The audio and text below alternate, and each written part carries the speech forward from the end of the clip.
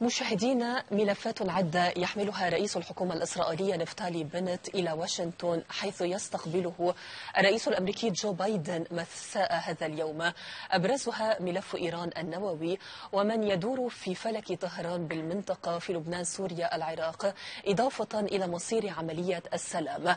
الأهم أولا وأخيرا أن لقاء بايدن بنت هو أول امتحان لهما في نج علاقات أكثر واقعية عن سابقتها بين ترامب نتنياهو. لقاء بايدن بنت أبرز الملفات وأهم المخرجات المرتقبة. موضوعنا مع الكاتب الصحفي ماجد عزام. هو معنا مباشرة من مدينة إسطنبول. أستاذ ماجد صباح النور. صباح النور لحضرتك للسادة المشاهدين. أهلا وسهلا أستاذ ماجد. مساء هذا اليوم اللقاء الأول بين الرئيس الأمريكي جو بايدن ورئيس الوزراء الإسرائيلي نفتالي بنت الملفات كبيرة.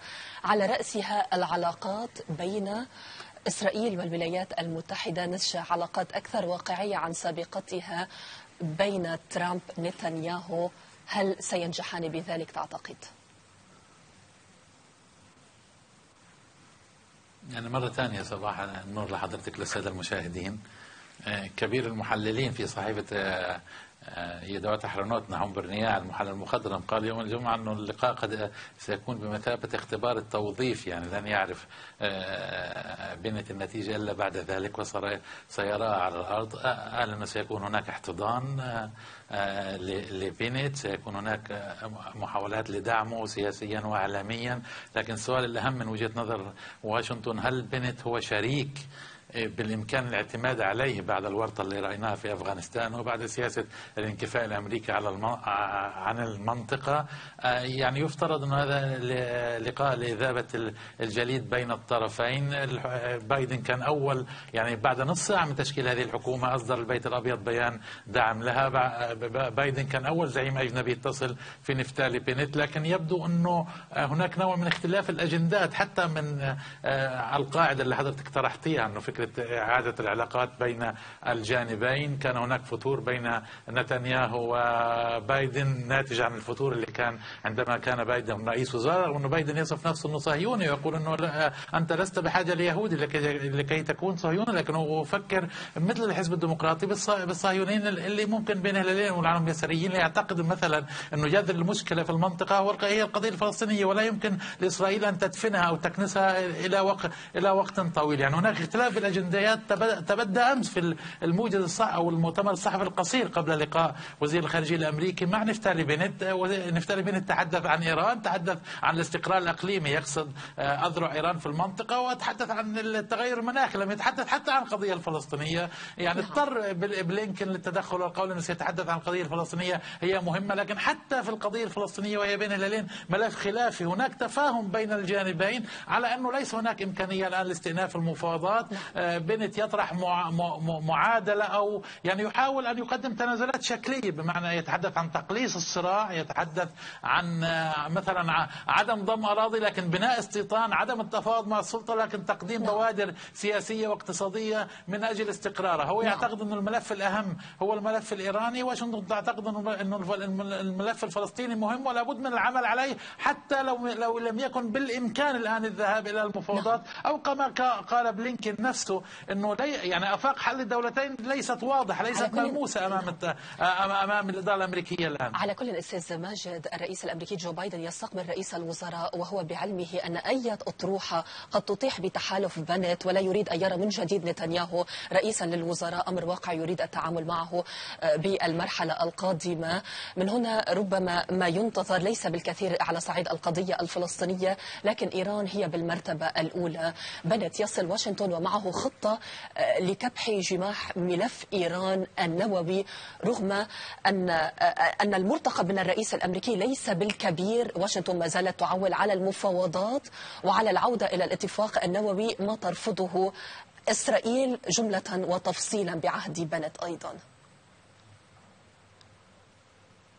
صحيح اللقاء يعني كان يعني تم الحديث أنه سيكون آه هذا في هذا الوقت كان هناك آه فكرة لتأخيره في بظل انشغال بايدن بالملف الأفغاني لم يحصل حتى على إجازته السنوية. كان يتم الحديث عن تاجيله للخريف لكن الملفات في إسرائيل ضاغطة. يتم الحديث عن المفصل المهم وهو آه إجازة الميزانية لعامين. ما يعني أن الحكومة ستستقر لشهور. لأن إذا لم تجاز الميزانية ستسقط هذه الحكومة. اذا كان استقبال بنت لنفتالي بنت نوع من دعم الحكومة حتى يتم تمرير الميزانية. على فكرة حتى وزير الخارجية الإسرائيلي عمل على ترتيب اللقاء في هذا الوقت من أجل أن تستقر الحكومة. في الموضوع الإيراني يعني بنت قال إنه يحمل خطة يعني بين هلالين هي خطة جديدة. يعني ليس هناك سجال علني مع الإدارة الأمريكية ليس هناك سجال علني في وسائل الإعلام الأمريكية وحتى في الكونغرس كما كان يفعل نتنياهو. لكن إسرائيل تعتقد أنه الإدارة الأمريكية الآن قرار العودة إلى الاتفاق النووي ليس قرار أمريكي بالدرجة الأولى هو قرار إيراني. أمريكا مستعدة للعودة إلى الاتفاق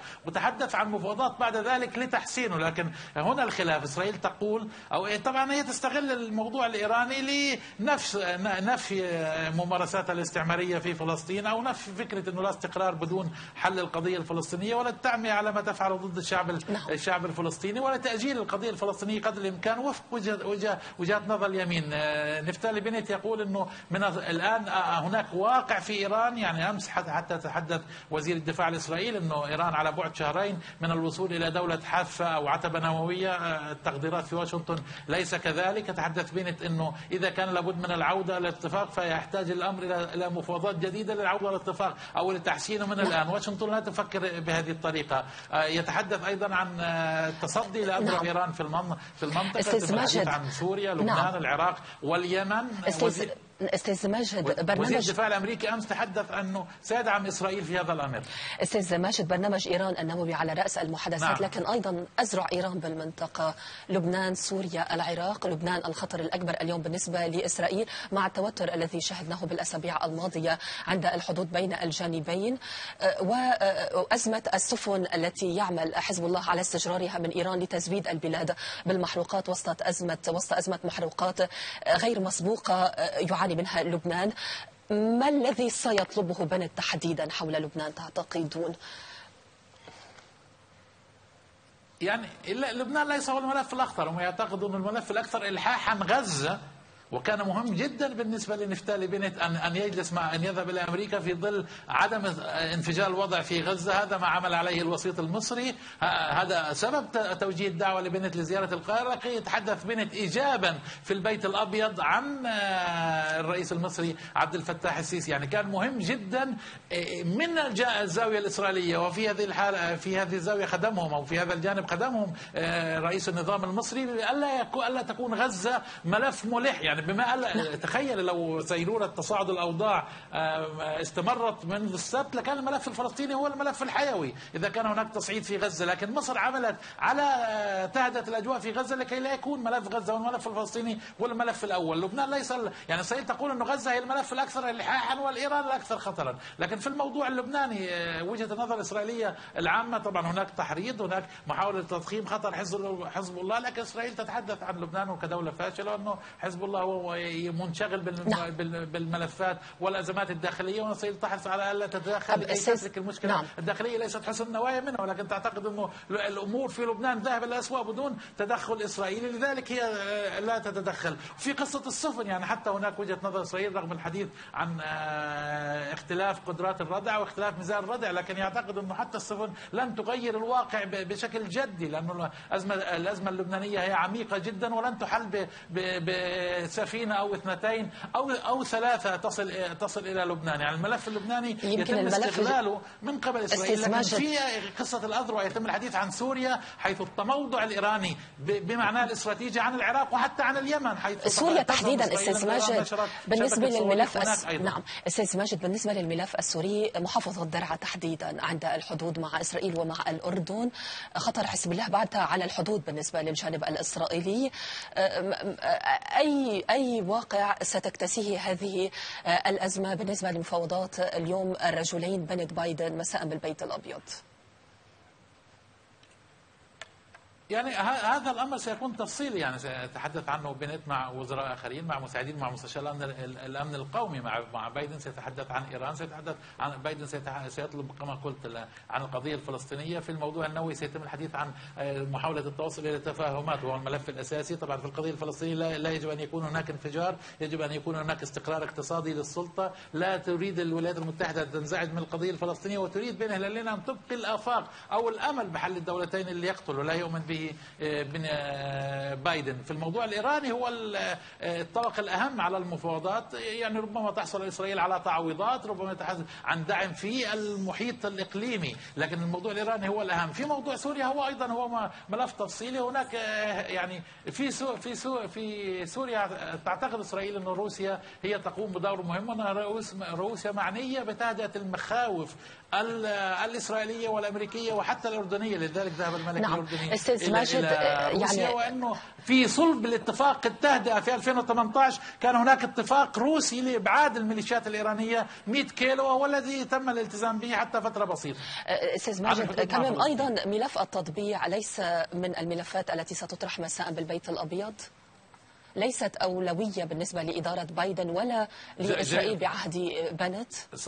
صحيح صحيح صحيح إدارة بايدن آه، تدعم التطبيع لكن ليست مستعدة لكي تدفع الإدارة الأمريكية ثمن هذا التطبيع كما كما فعل آه، آه، ترامب في قضية طائرات إف 35 للولايات المتحدة في قضية الصحراء الصحراء الغربية بالنسبة للمغرب. الأمر الآخر الولايات المتحدة انسحبت من صندوق إبراهام اللي كان يفترض أن يكون رافد اقتصادي للطبيعة للتطبيع. نتحدث عن 3 مليارات دولار. كان يفترض أن يكون هناك عمل اقتصادي إسرائيلي إماراتي في المنطقة لكي يجسد التطبيع ويجعل الأمر واقع. الولايات المتحدة لا تعتبر هذا الأمر أولوية وهو ليست أولوية حتى نفتالي بنت لم يتحدث عن هذا الأمر. طبعا في الخطة التي يحملها يتحدث عن التطبيع أو التوافق أن يكون هناك توافق عربي إسرائيلي في مواجهة إيران. الولايات المتحدة تعتقد أنها هي ستعمل على الملف الإيراني بطريقتها وأنه سيكون تقليل التداعيات ستعمل عليه الولايات المتحدة مع الحلفاء. لكن في هذا الجانب تعتقد الولايات المتحدة كما قال بلينكن أن التطبيع مهم لكن هي تفهم أنه بدون حل القضية الفلسطينية بدون وجود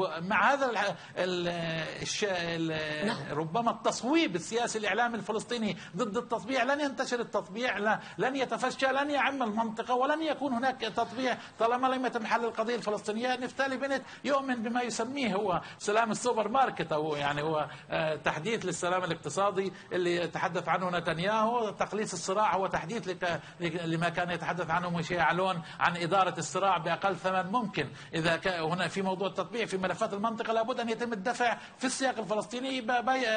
نفتالي بنت لا يريد هذا الأمر والإدارة الأمريكية لا تريد أن تضغط عليه لكن على الأقل تطلب منه مبادرات لكي لا تنفجر القضية الفلسطينية لا في نعم. القدس ولا في غزة. أستاذ مجد هنا أصل إلى خلاصة بنهاية المقابلة إيران على أبرز آه، جدول المحادثات ومن ثم تسميت زعامة بنت كرجل إسرائيل القوي لكي لا, نر... لكي لا يرى بايدن بالمرحلة القادمة. شبح نتنياهو من جديد رئيسا للحكومة الإسرائيلية ويجبر على التعامل معه بالسنوات المتبقية من عهده الرئاسي. على كل بمقال تحليلي لصحيفة لومود قالت أنه الأشهر السبعة الأولى من عهد بايدن وصلت الصحيفة إلى خلاصة أنه يريد إدارة الأزمات ولا حلها عالميا. انطلاقا من أزمة أفغانستان والواقع الذي أرسته الإدارة الأمريكية الجديدة بالتعامل مع أزمات المنطقة. الكاتب الصحفي ماجد عزام شكرا جزيلا لكم على هذه المشاركة. كنتم معنا مباشرة من مدينة إسطنبول.